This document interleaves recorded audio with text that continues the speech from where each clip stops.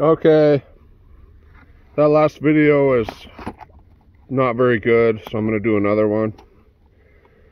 McKay's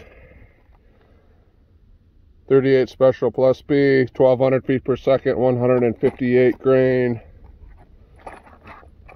Semi wad cutter. Ooh.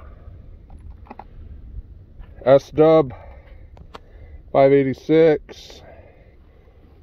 This might be real funny for you people. One handed in the wind, 10 yards.